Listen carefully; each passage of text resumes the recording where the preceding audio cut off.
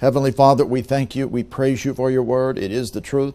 We do receive it written in our heart, written in our mind. Thank you for the revelation of it. Thank you for all that you bring forth this day. In Jesus' name, amen. Please be seated if you would. We've been sharing with you on the subject of the Holy Spirit.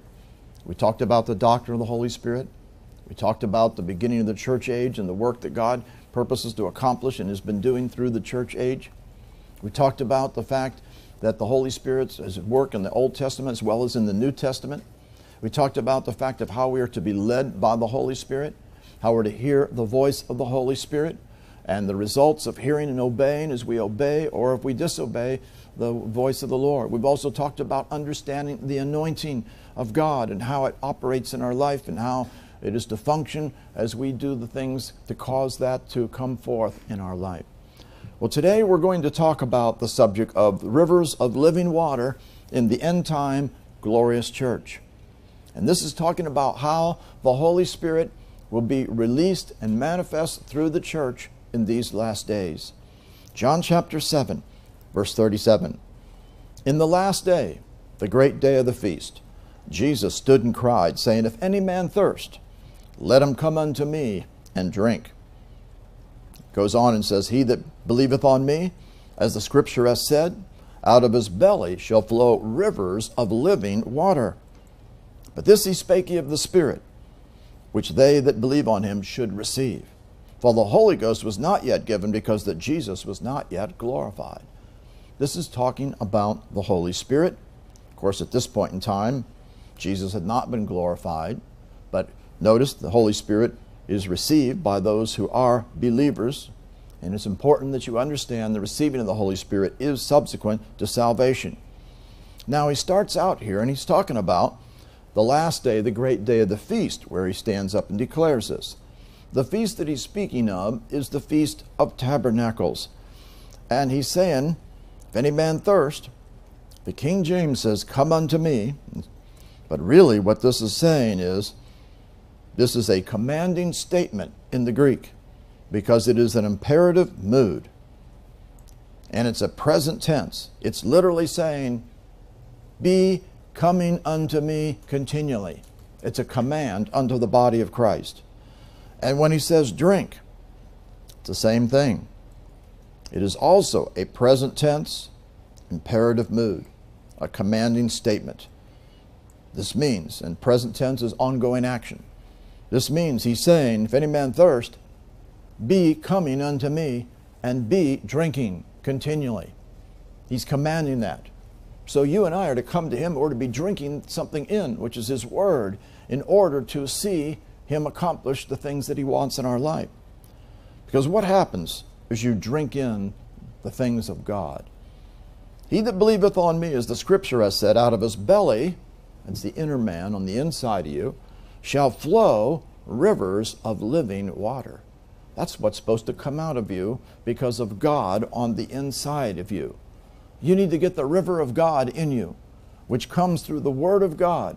And God is coming into the body of Christ, the remnant who are listening to Him and are going to be seeing the rivers of living water flowing out of the body of Christ in these last days.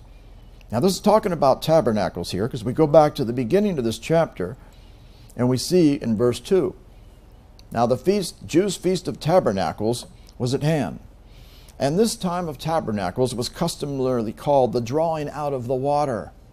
And that is significant because the outpouring of the waters, the flow of the rivers of waters, are to come forth out of us. It's important to understand. We come to verse 6. This is when we were talking about him going to that feast at that time. And Jesus said unto them, My time, this is his fixed and definite time. This word, kairos, means the fixed and definite time is not yet come. But your time is always ready. Speaking to us, our time is always ready to go in to experience all that is to be brought forth in the personal fulfillment of the Feast of Tabernacles in our life. He goes on up to verse 8. He says, Go ye up unto this feast. I go not up yet unto this feast, for my time is not yet fully come. It's not been fulfilled yet. So here, you and I are, can go up into this to experience what God wants, to accomplish this great work in our life, the fulfillment of all what the feasts of the Lord are about, which is Jesus Christ coming into us and accomplishing his full work to bring us to perfection, to bring us to uh, tr- tremendous fruitfulness and maturity in the Lord. He goes on now to verse 10. When his brethren were gone up, then went he also up unto the feast, not openly, but as it were in secret. Now, remember, Jesus said it wasn't his time yet to come up. So this speaks of Jesus there prophetically of coming to the church in the end time. End time manifestation when his time will be right. And he says, not openly, but as it were in secret. Many are people are looking for a great open wide revival. It's not going to happen. He's coming secretly. He's coming to every church, he's coming to every individual, he's coming to every person to find out whether you're going to be a part of the remnant or going to walk in the ways of the Lord.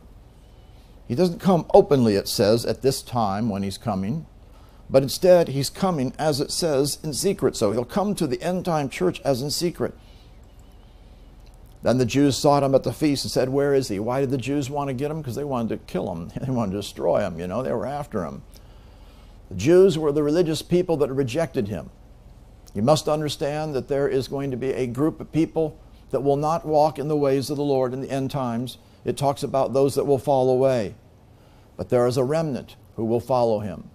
And the, rem- the ones who do not walk in the ways of the Lord will persecute the ones who are following the way of the Lord.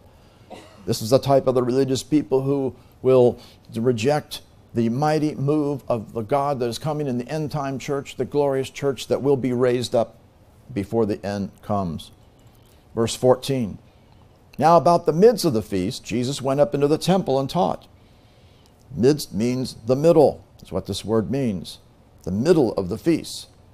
So, in the middle of the feast, midway, that indicates the fact that as this work is happening in the body of Christ, Jesus is going to really manifest him powerfully, not right away, but it's going to be in the midst of this going forth.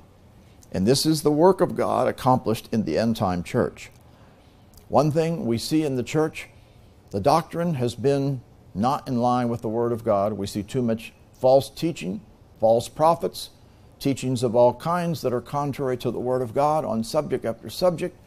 That is not going to continue when Jesus starts to manifest himself as he will. He goes on to verse 16. He said, My doctrine is not mine, but his that sent me. As he's coming now in the midst of the church. We go back to here, it says, When he came in the midst of the church, he went in the temple and he taught. Who's the temple? You and I are the temple. He's coming into us to teach us the truth of the Word of God, to bring revelation to us. And again, he said, My doctrine is not mine, but his that sent me. The true doctrine he is bringing forth to the body of Christ as we are hearing the true Word of God.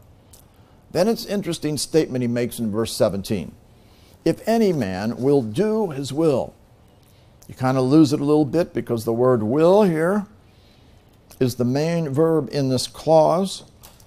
It is a present tense verb, meaning if he continually wills, but it is also the subjunctive mood. The subjunctive mood in the Greek expresses things that are contrary to fact.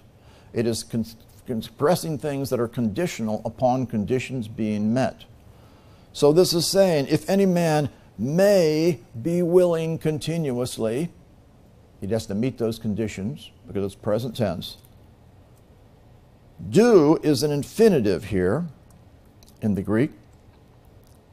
As you can see, infinitive, the way you translate infinitive would be to do. This is why Young's the one below it does such an outstanding job. If anyone may be willing continuously, because it's present tense, to be doing continuously his will. Otherwise, that's the way you have to be if you're going to get true revelation. It says, He shall know concerning the teaching, whether it is of God or whether I do speak from myself. And otherwise, other words, you cannot approach God's word just kind of being a spectator and thinking about it and think you're going to get revelation. It's not going to work. Only those who are set their will to be doing what they hear, to act upon it, will get the revelation. And that is important to understand. This is a scriptural principle that was already declared earlier in John, in John chapter 3, verse 21. He that doeth truth cometh to the light. Not just one who hears truth, but the one who is doing truth.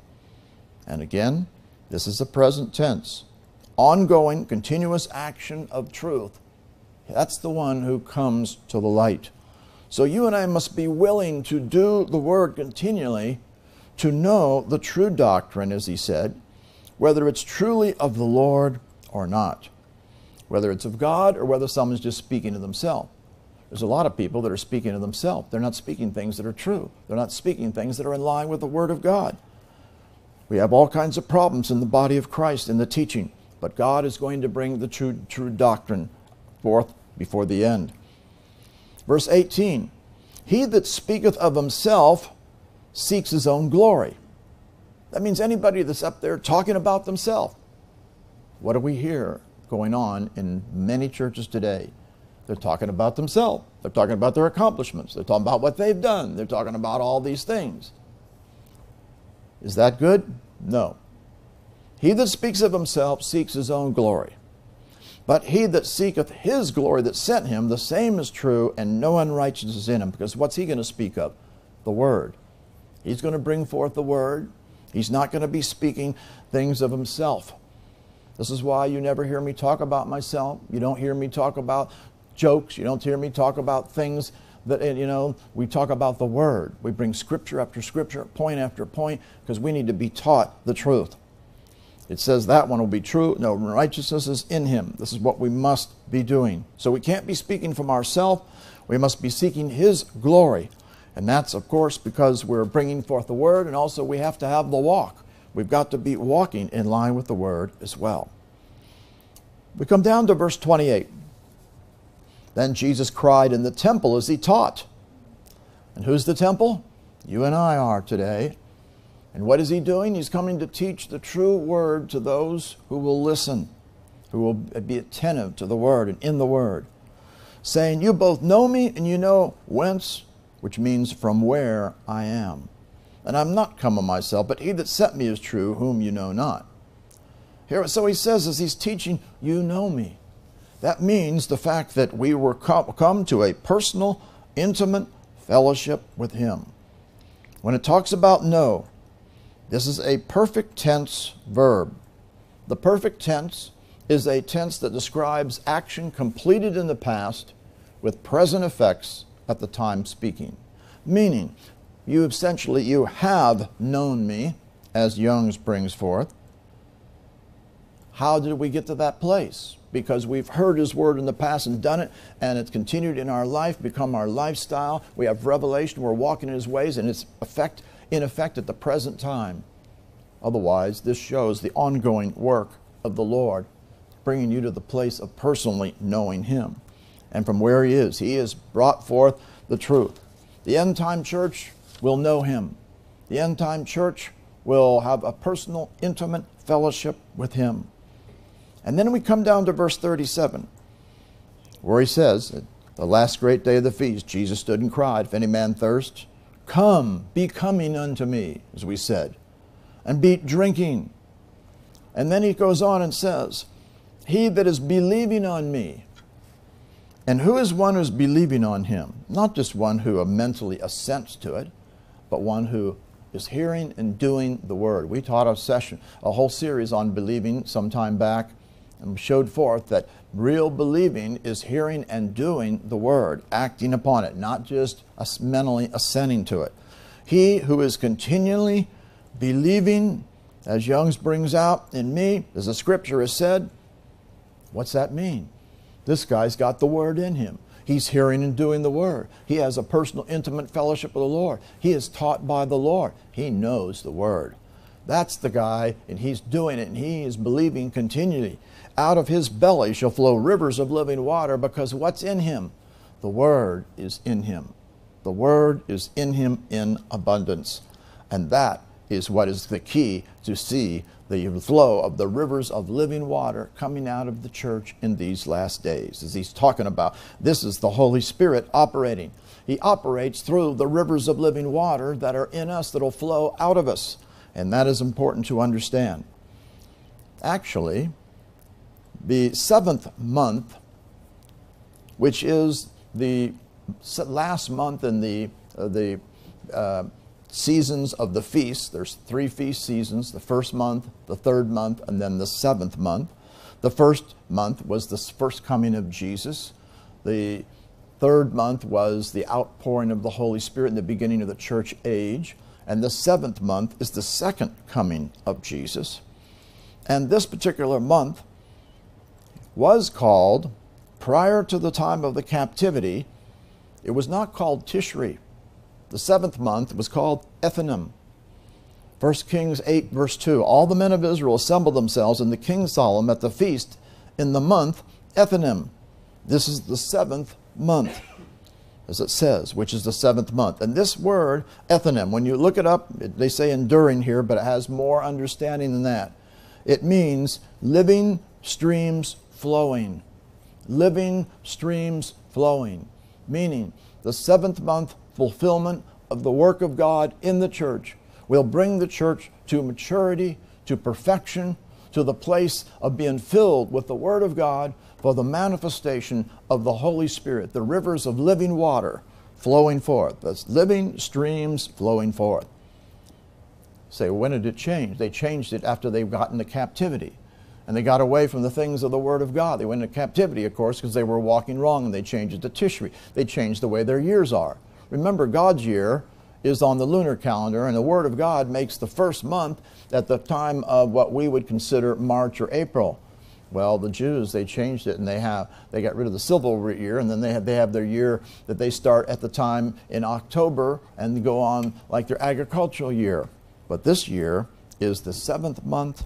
This is God's consideration of it, and this month is called the living streams flowing forth the church is going to enter into the fulfillment of the Feast of Tabernacles, and they're going to see the manifestation of the rivers of living water coming out of the church in the last days. We see a scripture that's also prophetic regarding things that will happen in the end times in Deuteronomy 23 14. For the Lord thy God walketh in the midst of thy camp the camp is a type of the church. And he's coming and walking in the church today to find out who is going to walk in line with the word, who's going to do what he says and follow him, and who isn't. And notice what he comes to do. He comes to deliver thee, to give up thine enemies before thee. The Lord is coming to all that will listen to bring deliverance deliverance from sin, deliverance from the works of the flesh, deliverance from the world, deliverance from all the evil spirits as we cast them out. He wants us delivered from everything that is evil. Now, look what he says then. Therefore, shall thy camp be holy. The church is to be holy. He is going to manifest himself in a holy church. Jesus is going to present a holy church unto him. And notice that he see no unclean thing in thee. When you put the cursor over the word unclean, it's actually the word erva in the Hebrew, which means nakedness. Notice it below here. And we can even show you through the usage. Look at the usage down here. 54 times this word is used in the Hebrew. 50 times, plus one other one with another word attached, 51 of the times it's translated nakedness. That's really what it means. If you're naked, that means you're not clothed. And if you haven't been clothed, that means what's on you is uncleanness because you haven't gotten rid of the uncleanness and replaced it with God's clothes, the garments of God. God he wants us to get clothed. Jesus is walking in the church to deliver it, to restore it, to bring it to the place of being holy, and it must not have anything that is unclean or causing them to be naked, which is because they haven't put on the garments of God the spiritual clothes, which is done through the Word of God. Notice, if he sees any nakedness in you, meaning that you didn't clothe yourselves with the garments of God, but you still have an uncleanness in you, he's going to turn away. Well, that means he's not going to manifest himself. If he doesn't see that you and I put the garments of God on, which is the Word, in us and walking in it, he's going to turn away from us. You and I are responsible to clothe ourselves with the garments of God. If you are going to be having the rivers of living water in you to flow out of you, you've got to put on the garments of God. And what are you going to how do you do this? Several scriptures in the New Testament make this very clear. Ephesians chapter 6, verse 11. Put on. This is the Greek word enduo. You notice in the lower window it means to sink into clothing or to clothe oneself. Every one of these ones that you see that with scriptures we're going to bring up to you, you will see that they're in the middle voice. The tense voice and mood are extremely important in the Greek, and we, of course, take the time to explain it to you clearly. The voice in the Greek has three voices active, meaning the subject is doing the action, passive, meaning the subject is being acted upon by somebody else. When you see a middle voice, it means the subject is doing the action for his benefit, and he is to do it to see that benefit come to pass. Therefore, this says that you and I are to put on or to clothe ourselves for our own benefit the whole armor of God. And it's a command. And the way you do it is through the Word the Word in your heart, the Word in your mind, Word in your mouth, Word directing your steps. It's the Word in you in every aspect. God wants the Word in you. We see in verse 14 when he talks about having your loins girt with the truth. That's the Word. And having on, this word is the same word, enduo, ha- having clothed yourself, same thing, middle voice, having clothed yourself with the breastplate of righteousness. That's the word of righteousness in you that you're walking in, and you're showing forth the fruits of righteousness. We also see if you are going to put on the garments of God in order to be that church that has the rivers of living water within them. Romans 13 12. The night is far spent, the day is at hand. Let us therefore cast off the works of darkness. You've got to get rid of everything that's not of God. And let us put on, again, the word enduo, the armor of light. And again, this is the middle voice. And in this case, it is a subjunctive mood, meaning that you and I, that we must, we might put on the armor of light meaning it's all conditional upon you doing it. It's not automatic, meaning you don't have that on when you get born again. You got to put it on. And it'll only be put on if you meet the condition of doing it. And what's the light? The Word. How do I put on the armor of light? I have the Word in me. The Word of God is to be in you. And then we see in verse 14, also, as you are putting on the garments of God, you are actually putting the Lord on you. You put on the Lord Jesus Christ. Same word enduo, same thing. Command, middle voice, imperative mood. You and I are commanded to put on the Lord Jesus Christ. That means you're to become like Him. You could put Him on for yourself. And make not provision, or this means forethought, for the flesh to fulfill the lust thereof. That means you can't be walking in the lust of the flesh. You're going to be contaminated because the flesh has sin. You must not make forethought for the flesh to fulfill the lust thereof. We must turn away from that. What else must we do? We saw that we're to put off some things. We the same thing down here in Ephesians chapter 4, verse 22. Put off concerning the former manner of life, conduct, and behavior is what this word means conversation. Doesn't mean just talk its overall manner of life, behavior, and conduct. You put off concerning the former behavior the old man. Everything of the old, it's gone. We get rid of it. We don't walk after it anymore. It's corrupt according to deceitful lusts. And you be renewed in the spirit of your mind, renewed in the spirit, through the Word of God that comes into you in your mind. You get a spiritual mind, and that you put on. This is this word enduo again. The new man. Again, middle voice. You put on for yourself the new man, which after God is created in righteousness and true holiness. You put on the new man through your mind being renewed to the Word of God. We see it brought out as well over in Colossians chapter 3. Colossians chapter 3, verse 10. If we go back to verse 8, it tells us, Put off all these. And this is all the old man stuff. This is all the deceit according to the lust. This is the things that you should not have in your life. Put off all these. Anger. If you have anger, you're operating in the flesh. You're not going to have any rivers of living water if you're getting angry. Wrath, malice, blasphemy, filthy communication out of your mouth, they all need to be eliminated. Lying, lie not to one to another, Liars end up in the lake of fire, you know. You can't be lying whatsoever. Seeing that you have put off the old man with his deeds. These are all deeds of the old man that are sin that'll take you down a path of destruction. You must cease these things. And have put on, again, enduo, clothing yourself, same thing, middle voice, for your own benefit, the new man, was renewed in knowledge. Renewed in knowledge, precise correct knowledge, accurate knowledge. You got to know. This word knowledge, epigenosis, means precise, correct knowledge. Not what I think it says. You got to know it exactly. God expects us to know the word exactly because we spend the time and study and we know exactly what it says. You're going to be renewed in knowledge. That is critical. You'll never have the, the, the rivers of living water coming out of you if you haven't gotten your mind renewed to the truth of the Word of God.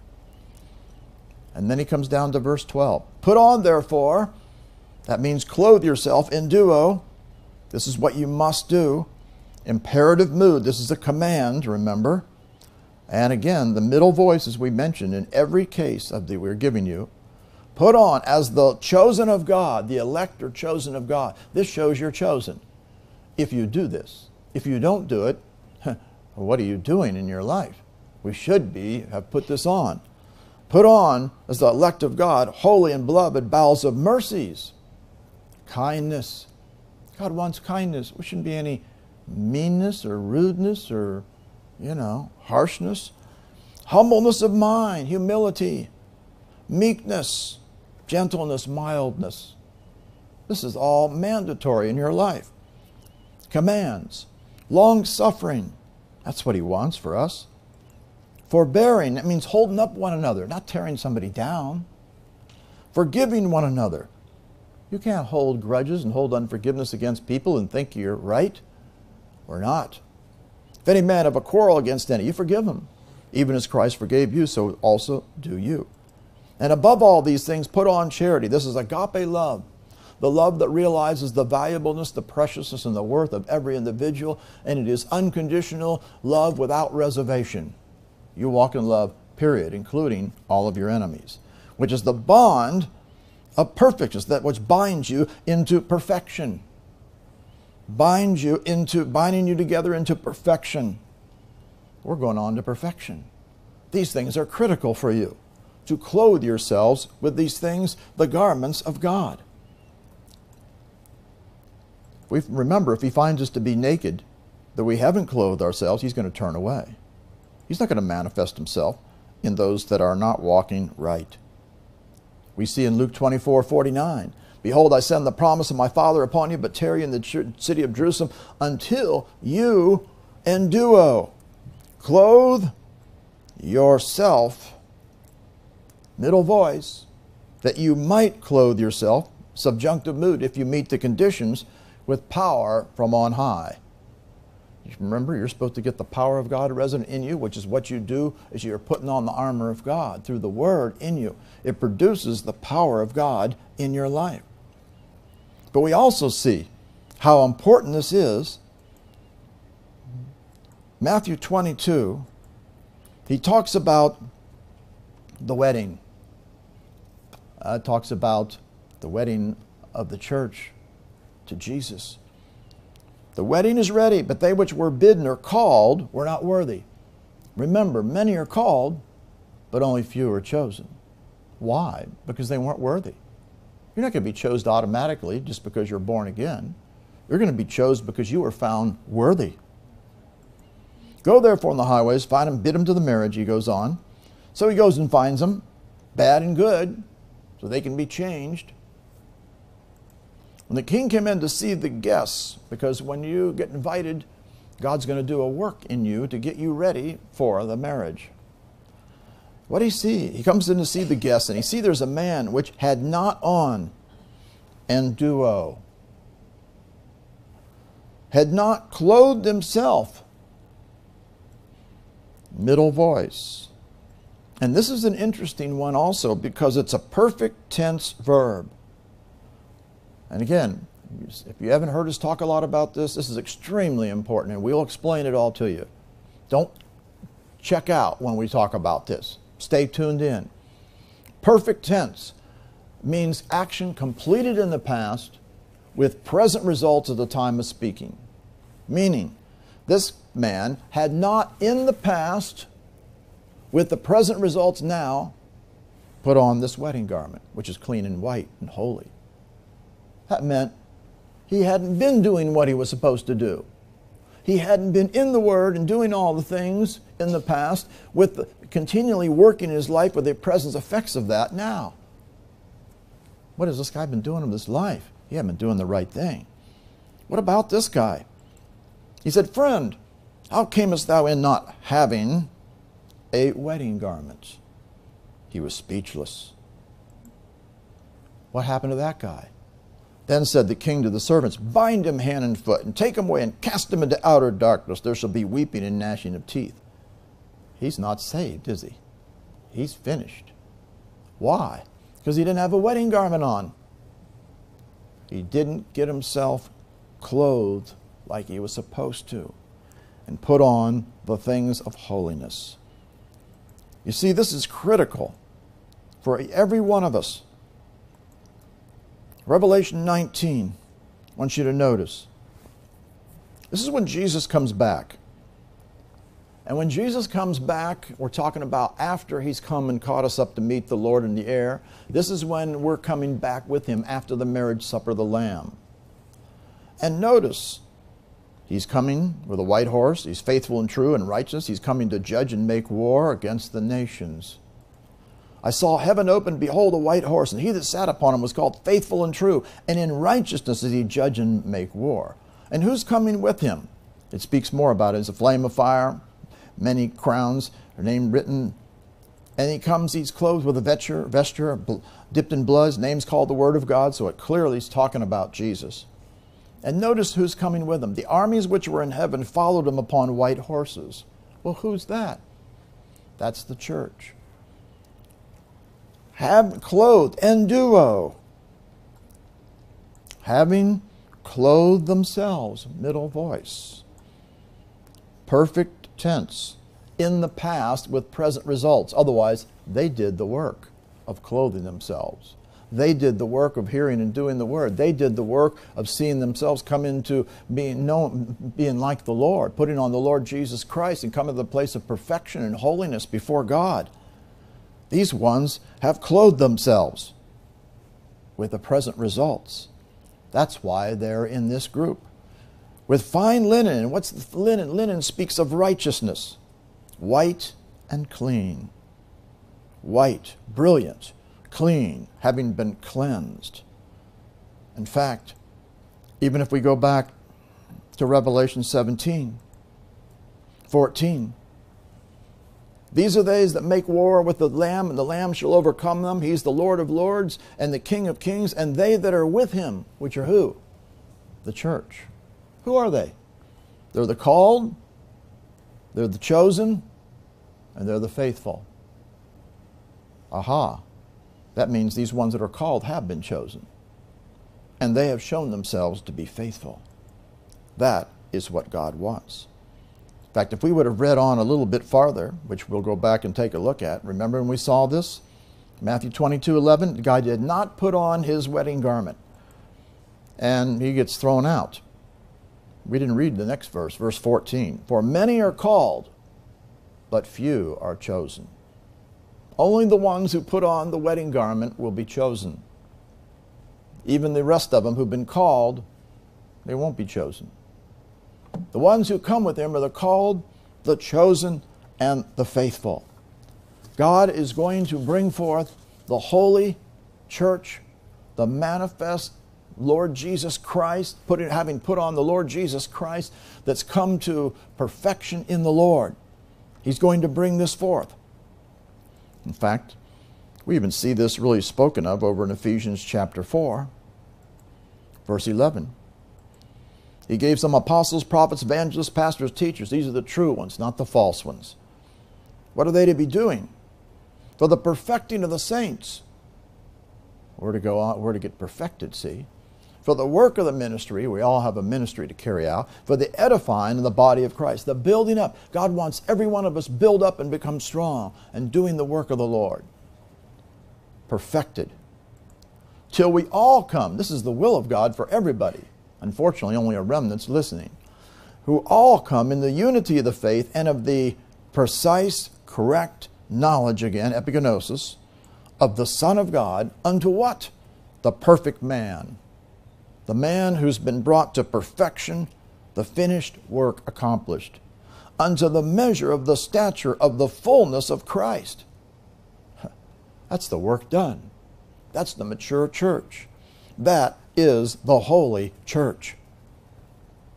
Well, what's going to happen is you get these clothes on, and now you've been drinking continually. You've been taking the Word of God in you. You got these rivers of living water have come into you. Now, when he talked about out of the belly will flow these rivers of living water, it really goes back to a prophecy in Ezekiel of what was going to happen. And he's speaking of it in John 7 about that is going to be fulfilled in the end time church that is going to have these rivers of living water coming out of it. But let's look at Ezekiel's prophecy in Ezekiel 47. Afterward, he brought me again unto the door of the house. You and I are the spiritual house of God now. Remember, this is Ezekiel's temple. We're talking about you and I are the temple now. And behold, waters issued out from under the threshold of the house. There's waters coming out from this house eastward. For the forefront of the house stood toward the east. The waters came down the side uh, from, from under the right side of the house at the south side. So it's coming from the east, it's coming from the south. These waters are coming out of it. He brought me out of the way of the gate northward, led me toward about the way without unto the utter gate by the way looking eastward, and there ran out waters on the right side. It's coming out the left side, the south side. Now it's coming out the right side. When the men, otherwise, coming out of the house from every direction. When the man had the line in his hand went forth eastward, he measured a thousand cubits, and he brought me through the waters, and the waters were to the ankles. Aha. That means the waters were rising in this house. It's up to the ankles now. And he measured a thousand, brought me through the waters. The waters were to the knees. They're getting higher. And he measured a thousand, brought me through the waters, were to the loins. And then he measured a thousand. It was a river that I could not pass over. The waters had engulfed the whole house. You and I are the house of God, and the waters are to engulf us. That's the Word of God coming into us we put on everything what God wants. He wants the Word in you, the waters coming into you. Notice, it's a river that I could not pass over. The waters are risen, waters to swim in, a river that could not be passed over. God is bringing this forth. He said, Son of man, hast thou seen this? Then he brought me and caused me to return to the brink of the river. Now, when I had returned, behold, at the bank of the river there were many trees on the one side, on the other. You and I are called trees of righteousness. And trees grow best by what? By the river, by the water, because they're soaking up that water causing them to grow, be strong. And so all the trees, the type of you and I that are sitting there drinking of the water. These waters issue out toward the east country, go down the desert, go to the sea. Waters will be healed. Were these waters that's causing all this to happen? Verse 9 It shall come to pass that everything that liveth, which moveth, whithersoever the rivers, rivers shall come, the rivers coming out from the house which is the rivers of living water coming out from the church. Wherever they're going to come, everything's going to live because it's going to release God's life. The river of God is to come out of you. There shall be a very great multitude of fish. Oh, that's that speak of people that are going to be one to the Lord. A tremendous ingathering of people coming to the Lord in these last days. God does not want the billions of people that have rejected Jesus to go to hell. He wants them to be saved. And there will be, even when all these things are happening, which we'll cover in a minute, there's going to be a tremendous move of the, of the, in the body of Christ, the glorious church, with the rivers of living water flowing out of it. There should be a great, very great multitude of fish, because these waters shall come thither, for they shall be healed, and everything shall live whether the river cometh. It's going to bring healing. It's going to bring miraculous works. It's going to bring people to be saved. It shall come to pass the fishers shall stand upon it from Engedi unto Eneglaim, and they shall be a place to spread forth nets. Their fish shall be according to their kinds, the fish of the great sea, exceeding many. Tremendous harvest of souls that is declared. The miry places thereof and the marishes thereof shall not be healed, they shall be given to Saul. Now, those are the ones that aren't, aren't, aren't by the river. God wants us to be ones planted by the river, remember, rivers of living water. And by the river, upon the bank thereof, on this side, on that side, grow all trees for me, whose leaf shall not fade. We're not going to fade. Neither shall the fruit thereof be consumed. It will bring forth new fruit according to his months, because there are waters they issued out of the sanctuary. And what's the sanctuary? The holy place. This is coming out of the holy church. And the fruit thereof shall be for meat, and the leaf thereof for medicine. It brings healing, brings feeding. The water, living waters are going to come forth. It's going to come in the church before the end comes. Psalms 46. Psalms 46, verse 1 God is our refuge and strength, a very present help in trouble. This is, you need to know He's your strength, He's your refuge. He will help you because when the bad stuff comes, when the judgments begin to pour out, pour, be poured out, you got to be abiding in Him. Therefore, will we not fear, though the earth be removed? The word removed literally means be changed, be altered. It's exactly what's going to happen. When the judgments come, it's going to make havoc of the entire earth. We're talking about when Jesus comes back and begins to bring these judgments coming. We will not fear, showing we're here. We haven't left. Though the earth be changed and being altered. It's actually in the Hiphil stem. There's different stems in the Hebrew. And the Hiphil stem, you can see right here, means change or alter.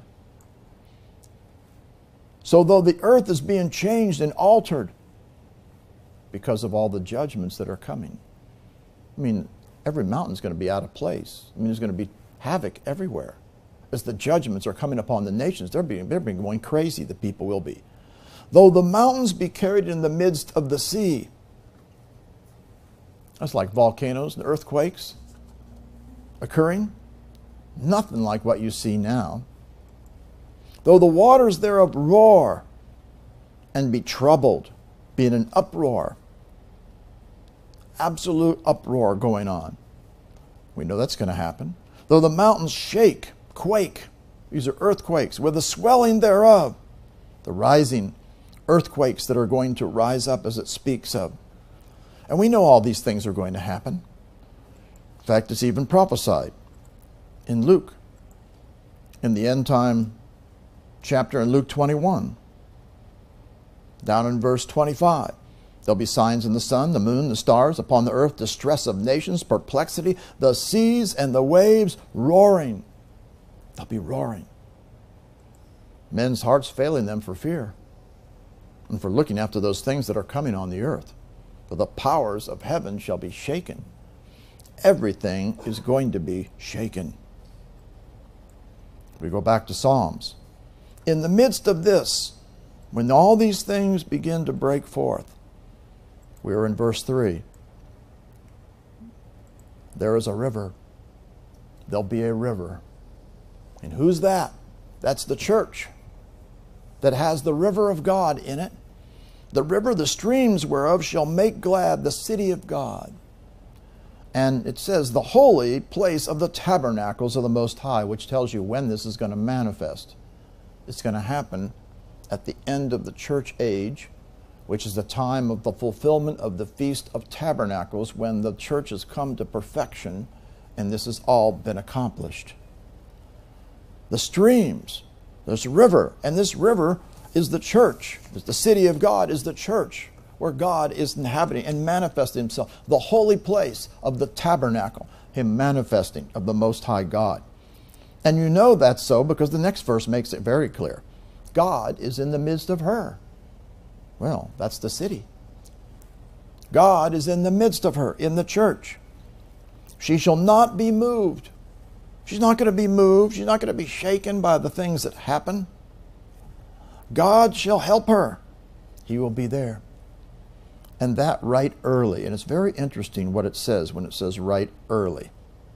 The word early here means at the break of day, at the very beginning of the day, or when the morning appears. And when does all this happen? It happens at the beginning of the seventh day when Jesus begins to rule and reign from heaven. This is talking about the beginning of the seventh day when all these things begin to come down on the earth. The same time, the heathen rage. These are the nations. They're going to be raging because they see the judgments are starting to come. But they still won't repent, as it talks about in Revelation. the kingdoms were being shaken, moved. This means shaken. They've been shaken. In fact, this particular one means they've been shaken, tottering, slipping. They're going to be overthrown, they're going to be destroyed. He uttered his voice, and the earth melts. Be tremendous things that are going to happen. The kingdoms, everything's going to be moved. But he goes on and says, The Lord of hosts is with us. You are abiding in him, he'll be with us, he'll protect us. The God of Jacob is our refuge. He is our high place of refuge and fortress, our one protecting us. When he speaks of the Lord of hosts, this is the covenant keeping name of the Lord, by the way. He keeps covenant promises. They don't stop during the tribulation period. No, not at all. Come, behold the works of the Lord and what desolations he's made in the earth. Judgments are going to come. There's going to be tremendous desolation that is going to occur at that time. He makes the wars to cease. This is uh, when he comes after he's destroyed them all. Under the end of the earth, he breaks the bow, cuts the spear in asunder, he burns the chariot with the fire. There's not going to be any war in the millennial reign of Jesus. This is speaking of the time of the millennial reign of Jesus when it kicks in, after he's done the destruction, of the desolations. And then he says to you and me, Be still, be quiet, and know that I'm God. Don't get upset. Don't get fearful. Don't get nervous. Be quiet.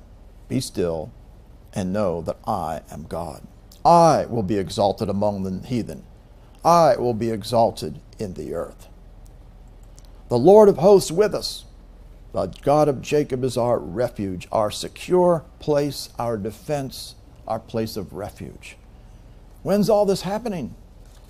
Well, remember, the river comes when the fulfillment of the work of God in the church is done to bring it to maturity, to bring it to the place of, of perfection and fruitfulness. It occurs at the end of the church age. As God is in the midst of the church and the church is not going to be moved, God's going to help her at the beginning of the seventh day when the judgments are being poured out. The six days is the days of man. The last two days, four days unto Christ, the 4,000 years, of man. Two days, the 2,000 years of the church age, 6,000 years, that's the six days. Remember, the church age is not over yet. When's it over? 2030 AD. How do we know? It started in 30 AD. That's when Jesus brought forth the beginning of the church age. That's when he went to the cross, was raised from the dead. 2030, that's 12 years away. You see things getting worse and worse in the world, and they're going to get worse and worse in the world. Everything is going to be shaken that's going to be shaken. But this is the time for you to get yourself full of the river of God. It's time for you to get strong and mighty and get yourself in the Word. And if you're dabbling in the things of the world, or you're dabbling in things that you know you shouldn't be doing, get out of them. It's time for you to put in first place and get right. Clean up our act, clean up your act in your life. Remember, if he sees any nakedness in you, he'll turn away from you. He's not going to manifest himself in that which is not right whatsoever. It's not going to happen. The nations will be enraged as the judgments are occurring. They're going to be going absolutely crazy in the midst of all of these things. John chapter 2. In the third day, there was a marriage in Cana. What's the third day? That's the day after the two days of the church age. The church age, 2,000 years, the two days. Back, we'll come back to this in a minute. Let's show you the two days it speaks of. Hosea chapter 6, verse 2. He says, first of all, come, let us return to the Lord. He has torn, he'll heal us. He has smitten, he has bind us up. God wants everybody to repent, return to him, get right 100%. Period. That's it. After two days, that's the church age, he will revive us. In the third day, he'll raise us up and we will live in his sight. And we'll know if we go follow on to know the Lord is going forth to prepare as the morning. He's going to come unto us the rain, the latter and the former rain. That's the double portion rain to bring forth the maturity. Rain brings maturity the crops. To bring the church to perfection, which is the teaching of righteousness, the teaching of the Word of God coming unto us. He's going to raise up this mighty, great end time church is going to come forth. And the third day, this is the beginning of the time, there at the third day, the marriage in Cana. Well, who is that a type of? A marriage between Jesus and the church. When we're caught up to meet him in the Lord in the air. The mother of Jesus was there. Both Jesus was called and his disciples. Who's going to be at this marriage? Jesus will be there. Who else? Every believer that's born again? Nope. Only the disciples to the marriage. Who are the disciples? The disciplined ones. Who is a disciple from God's standpoint? We'll come back here in a moment. John 8, 31. Then said Jesus, Jesus to those Jews that believed on him, If you continue in my word, that's the condition, remain and abide in the word. Then are you my disciples, disciplined ones indeed. You're a hearer and a doer of the word consistently. You're disciplined. And of course, that's the guy who's going to see, know the truth, and the truth is going to make him free. What else shows that you are a disciple? John 15, 8. Here is my Father glorified, that you bear much fruit. So shall you be my disciples. And of course, how'd you get to this place? You didn't get much fruit overnight. No. Verse 2 Every branch in me that beareth not fruit, he taketh away. The fruit comes from the Word in your life. Every branch that bears fruit, you're starting to bear fruit, He purgeth it that it may bring forth more fruit. What's the purging? Cleansing. There has to be a cleansing of all of the filth to bring forth more fruit. That means all the sin has to be eliminated. All of it. Then you bring more fruit, more fruit. Then he says, this is misleading uh, unless you understand what it says in the Greek, which we'll point out to you. Now you're clean through the word that I've spoken unto you. People say, oh, the word, I've heard it, so it's cleansed me. That's not what it's saying. You are clean. The word through is the word dia in the Greek. And you must understand that dia means through when it's in the genitive, but if it's the accusative case, it means because of. That's important to understand. I can even show it to you right here. Here's the word dia. I'm putting the cursor over this word right here if you see it. It means, in the genitive, it means through. But with the accusative, that's the ACC, that's a, one of the cases, there's five cases in, in there in the Greek, and the accusative it means because of. How do you know what the case is? You look at what it's, modi- what's mod- what it's modifying. Here's the word, it's the accusative, the, and this is the word, which is also accusative. So what does that mean? It shouldn't be translated through, it should be translated because of. So that's a big difference. Not just through the word that it was spoken to me, but because of the word that was spoken to me, meaning the word did something in me. But also, there's another important thing here. Not the word that I spoken to me, you know, that, that I didn't do anything with. The word spoken is also very important to look at because this is a perfect tense verb, active voice.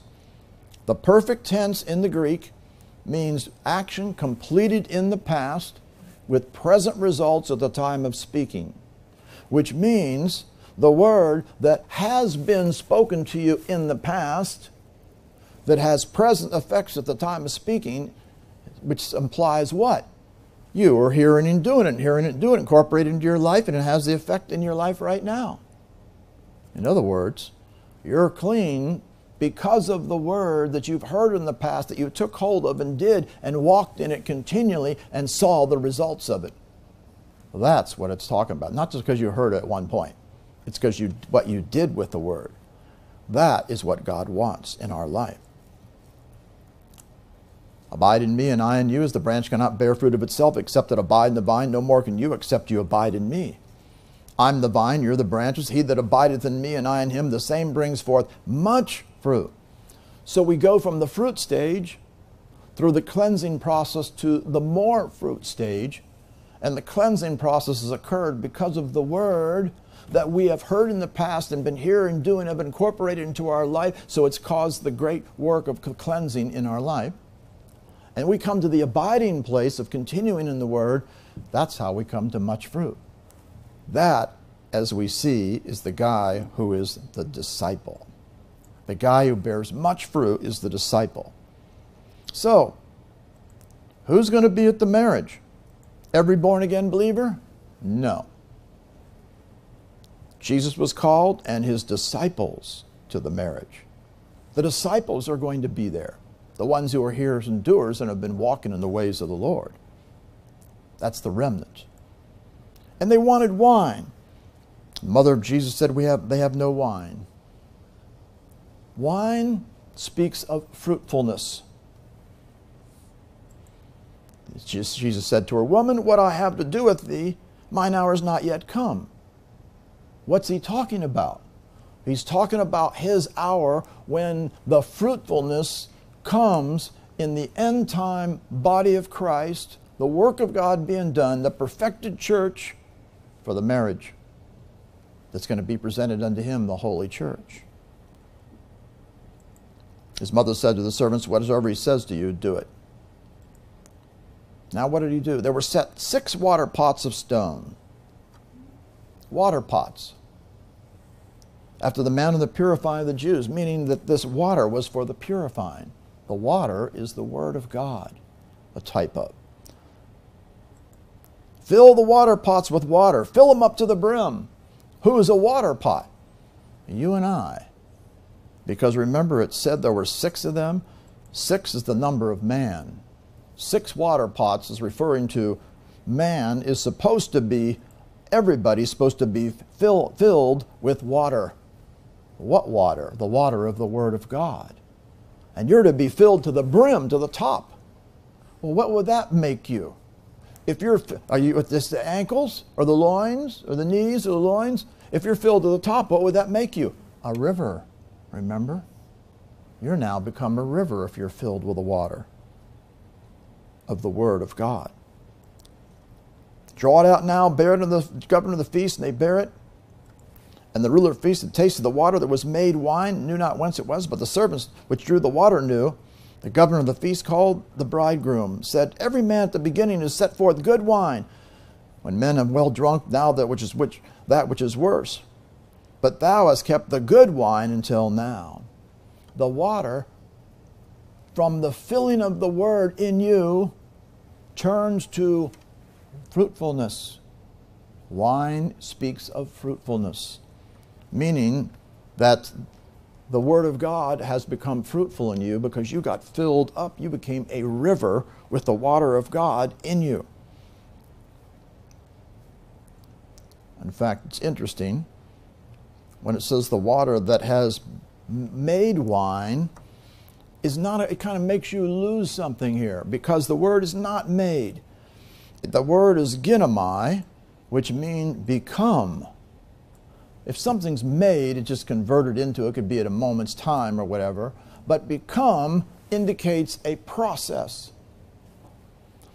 And furthermore, this again is a perfect tense verb. What's that mean?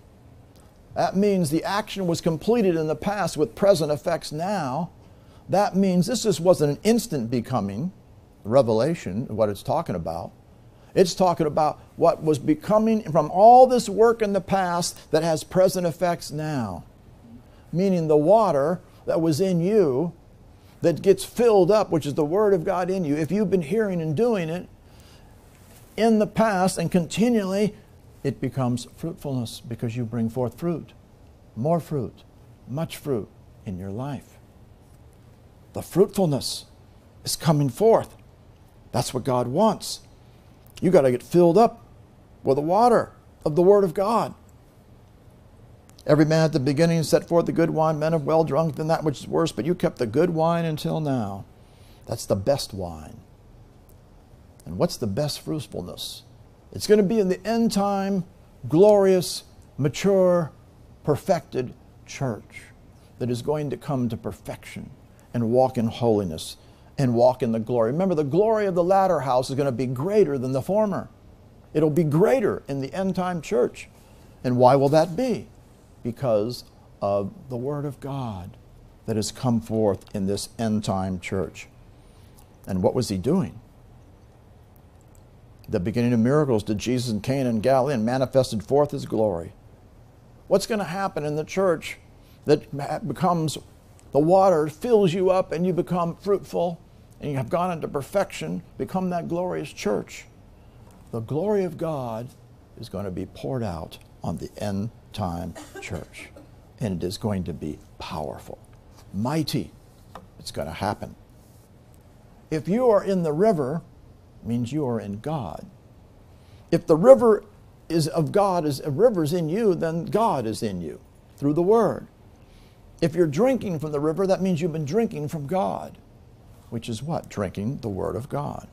If you release the river to flow out of you, that means you're releasing God. How do you release Him? Through the Word. Acting on the Word, speaking the Word, doing the Word, praying the Word, using your authority, acting on the Word to conquer the enemies and to destroy all of their works. God is going to do a mighty work in the body of Christ. It's going to happen. John brings a lot of this out. John chapter 4, verse 7. Here's a woman of Samaria coming to draw water, and Jesus says, Give me to drink. She says, You're asking me. You're supposed to have any dealings with the Samaritans. Samaritans. Jesus said, If thou knewest the gift of God and who it is that saith to thee, Give me to drink, you would have asked him, and he would have given you living water. Jesus is going to give us living water. And she says, I have nothing to draw with. The well's deep. Whence hast thou that living water? And then he comes and Jesus says, verse 13, Whosoever drinketh of this water shall thirst again, the natural water. But whosoever might drink, this is because this is a subjunctive mood verb, who might drink of the water that I shall give him, shall never thirst might never thirst. But the water that I shall give him shall be in him a well of water. And what's this well of water going to do? It's going to spring up into everlasting life. This is a river of water, living water on the inside of you. And the living waters are supposed to be flowing out of you having come into you. You've got to get the water in you. When this well of water's in you, it's going to spring up into everlasting life. And the water's flowing out of you is going to minister life to everything that you come in contact with. That's only if you're filled up with the water. If you're not filled up to the brim with the water, what are you doing with your life? Oh, I must be involved in all these worldly things, these a bunch of fleshly things, a bunch of fun things, uh, uh, watching things I have no business to watch, all these kind of things. There's trouble. God's calling every one of us to get tuned in as the remnant and follow Him 100%. You're bought with a price. Seek the things above, not the things on the earth. John chapter 5. There's a feast of the Jews, and the Jews, Jesus went up to Jerusalem. At Jerusalem by the sheep market, a pool was called in the three, the Hebrew tongue Bethesda. Bethesda means house of mercy or flowing water. Aha. When the water's flowing, the mercy of God is flowing. That's what it means. The flowing of waters, the release of mercy, and what does it bring? It brings healing, it brings deliverance, it brings life, it brings victory. The mighty works of God being done. Oh, a great multitude, impotent folk, blind, halt, withered, waiting for the moving of the water. They're waiting for this moving of the water, this water to get flowing, to set in motion, the moving of it. The setting in motion of the water is going to release the healing. That's what they're waiting for. Angel went down in a certain season into the pool, troubled the water. Whosoever first, then first after the troubling the water stepped in was made whole of whatsoever disease he had. That tells you something. The moving of the water brought healing. The setting in motion of the water brought healing. That's what God wants.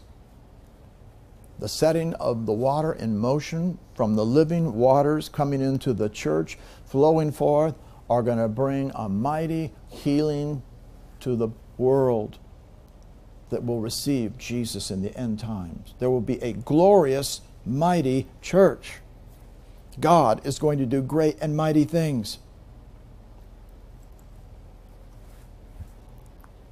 We see one other thing we're going to look at with a couple other scriptures too. 1 Samuel 17. This is David against Goliath. He'd already proved God with the lion and the bear.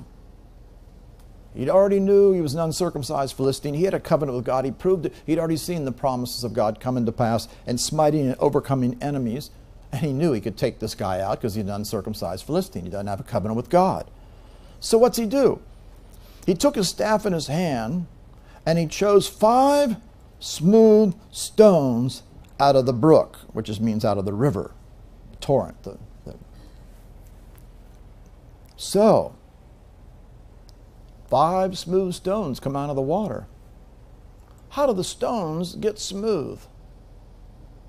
When the, you seen them in the brook, the water runs over them and runs over them and runs over them and runs over them and runs over them for a long time.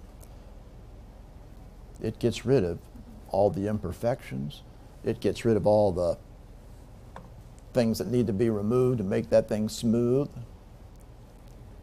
The water working in you day after day after day, week after week, month after month, even year after year, hearing and doing and hearing and doing will make you like a smooth stone. And he took the five smooth stones, put them in the shepherd's bag. And that's that's what God wants for you. you he's, he's obviously he's a shepherd, or he's a, he's, uh, he's a shepherd, and he's under the, the, under the real shepherd. He's out there with the sheep. Speaks to the fact that he's been following, type of him following after the Lord. It says a sling was in his hand, and he drew near to the Philistine, and then he sends these stones after him. That's what he shot him with. Remember? He sends forth the stone.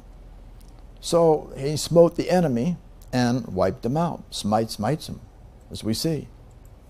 Here's when he put the hand in his bag, took the stone, slang it, and smote the Philistine in his forehead.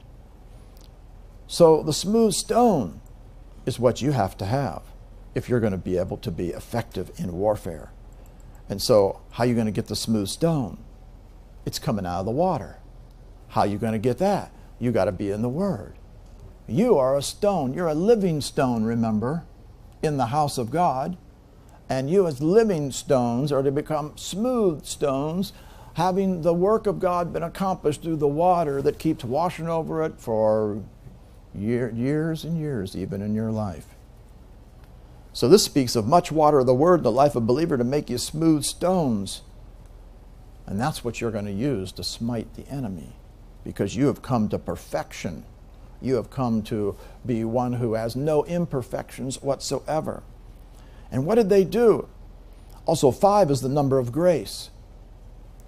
The grace of God will be manifested in those who are like smooth stones. Acts chapter 4. After these guys had a prayer meeting, and it says that great power gave the apostles witness of the resurrection, and great grace was upon them the favor of God and power operated. And what happened with these guys? This is the remnant. Down in Acts chapter 5, verse 12, by the hands of the apostles were many signs and wonders wrought among the people. And they were all with one accord in Solomon's porch. Solomon's porch speaks of Solomon's temple, which is the church, the end time church. Solomon's temple is a type of the end time church, the temple of the Lord and they're in one accord, meaning there's going to be a remnant that's going to be in one accord because we're all going to become in one accord with Him, in line with the Word, and be the holy, glorious church. Remember, Jesus prayed that we would be one, and then the glory is poured out on those who are the one. So these are the ones that are going to see the glory of God manifest. I want you to notice this verse. And of the rest, the ones that weren't one, these guys were outside of that of the rest durst no man join himself to them. They wouldn't join himself to them. That means there's going to be a bunch of people who aren't going to join themselves to the remnant. They're not going to clean themselves up. They're not going to get become holy. They're not going to see the glory of God manifest in them. Because what happened with these other guys? The believers were more added to the Lord. Multitudes, that's the fish, the great amount of fish, both men and women. Insomuch they brought the sick into the streets, laid them on beds and couches, that at the least the shadow of Peter passing by might overshadow some of them.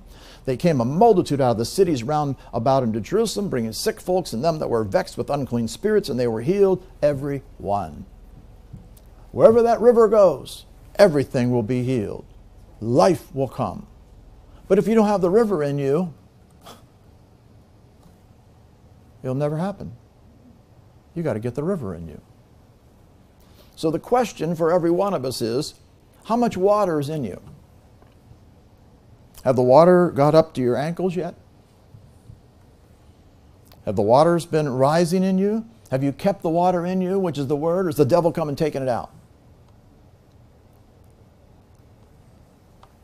We'll be looking at this later when we talk about tonight, but it talks about how the Philistines came and stopped up the wells of water. That's the devil coming to stop up the wells of water and cut off the water if you're operating in your life. You can't give place to the devil and let him do that to you. You're to be a well of water. You're to be springing up out of you, rivers of living water to come out of you. How full of water are you? You got to become a river. It's time to put the Word of God first place. Get rid of all the rest of the stuff hear and do the word, hear and do the word, walk in the word, carry it out, God will do a great work. And you're going to see fruitfulness come forth in your life. It's going to be a day in and day out process, ongoing, continually. He's going to change you, He's going to heal you, He's going to transform you, and you got to get rid of all this sinful stuff. All this old man stuff, all this anger, and all this stuff, lying, bitterness, resentment, all this stuff out of here. You'll never be a part of the remnant because the remnant will be a holy church. One last scripture Ephesians chapter 5, verse 26 and 27. This is talking about Christ here, that he might sanctify and cleanse it, which is the church with the washing of water by the word. that he might sanctify it. That's main verb here. And it's subjunctive mood, meaning that it's not a guaranteed deal. Remember, the subjunctive mood is conditional upon conditions being met, meaning you have to do what's necessary to see the sanctification come to pass. It's not automatic. You got to work out your own salvation, become holy, and do all these things that you might sanctify it. Having, as Young says, cleansed it with the bathing of the word. Otherwise, when we look at this word for cleanse here, the King James just really messes this up because it's a participle here, cleansed. This is why Young's translates it that he might sanctify it, having cleansed it with the bathing, or the this is loutron bathing of the water of the word. We're not talking about just a little bit of water, the bathing. I mean, the water just runs over all of you. When you take a bath, you get the water gets everywhere, doesn't it? That means the, the river is coming over you. The washing of the water by the Word of God, those things that have been spoken unto you, that you've taken hold and done it. And what's that going to produce? The holy church. And what's he going to do with that? That he might present it to himself a glorious church, not having spot or wrinkle or any such thing, that it should be holy and without blemish. That is what Jesus is going to present unto himself.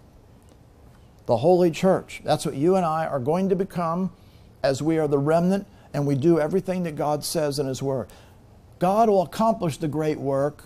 You have a part to play, which is doing what the Word says. You got to become a river. Again, how much water's in you? Has it gotten above the ankles? Has it gotten up to the knees? If God could examine you in the spirit and look at you and say, hmm, where's the water? How come it's not all in you? We need to get a river in us. Get the river of God in you because the rivers of living water are to flow out of you and me in the end time church, the glorious church that is going to be raised up before the end. Praise God for the work He's going to do in your life. This is the Holy Spirit. The Holy Spirit flows as a river of living waters from the Word being in you and the fruitfulness and His work accomplished in you and through you. Say this Heavenly Father, I thank you and praise you for the Word of God that brings revelation of the flowing of the rivers of living water coming out of the end time church. I thank you. I must become a river. I must get the water in me. It's got to fill my whole being. I'm a water pot. I got to get filled with water to the brim so I can be fruitful so I can be ready for the marriage of, of the Lamb, so I can be a vessel, a holy vessel, for the flowing forth of the rivers of living water out of me that will bring forth a great harvest of souls, healing, every place the water flows, everything will live. I thank you for the great work you're going to do in my life because I'm getting my life in order. I'm getting the water in me. I'm filling this water pot to the brim. I will be a river. I thank you for operating in me mightily so that the rivers of living water will flow forth out of me. In Jesus' name, amen. Praise God. Father, I thank you that every single Christian that hears this has ears to hear of the importance of this message regarding the work that they must do to see this be accomplished in them in the end time church. Thank you that we will be hearers and doers of this word. In Jesus' name, amen.